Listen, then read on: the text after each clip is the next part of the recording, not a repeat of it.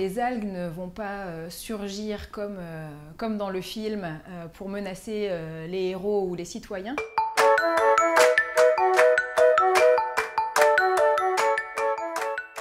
Elles peuvent constituer une menace pour euh, les autres espèces en, colonisant leur milieu de vie, un petit peu pour les activités humaines, notamment en constituant une biomasse importante et donc en freinant par exemple les activités de pêche ou de baignade. les macroalgues que l'on va retrouver euh, sous la forme de macroalgues invasives ont principalement été importées, notamment par les activités humaines, lorsque euh, les cultures d'huîtres par exemple ont été importées du Japon. On va pouvoir traiter le problème selon deux angles, soit effectivement ça s'attaquer à la source de la pollution pour essayer de minimiser l'invasion des algues, qui va être un premier point. Et c'est vrai que ce n'est pas tellement le cœur de, notre, de nos études à nous au laboratoire.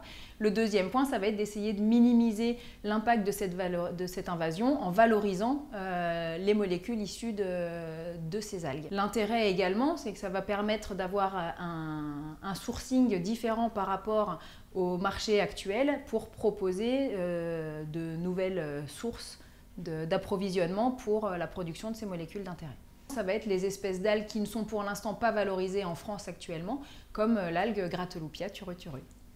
Le bioraffinage, ça va permettre de pouvoir valoriser une biomasse dans son ensemble, c'est-à-dire que l'on va s'intéresser effectivement principalement à un composé que l'on appelle composé cible, tout en considérant également les autres fractions générées par les procédés d'extraction, ce qui va nous permettre d'avoir une valorisation multiple de notre biomasse et également de pouvoir transposer ce type de valorisation à d'autres espèces d'algues qui pourraient devenir un jour néfastes ou nuisibles pour euh, l'environnement ou l'homme.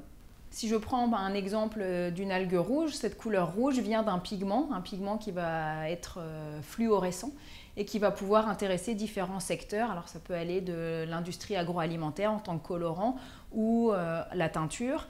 Et puis si on réussit à purifier cette molécule, on va pouvoir l'utiliser dans, les domaines médicaux. Ça s'appelle la phycoérythrine et il peut représenter une valeur marchande allant jusqu'à 400 euros le milligramme. Donc effectivement, il y a un potentiel de développement économique derrière euh, assez important qui n'est euh, pour l'instant pas utilisé euh, vis-à-vis des espèces que l'on étudie. On va pouvoir extraire ce pigment d'autres espèces de macroalgues, mais pas forcément de celles que l'on étudie dans le cadre de ce programme.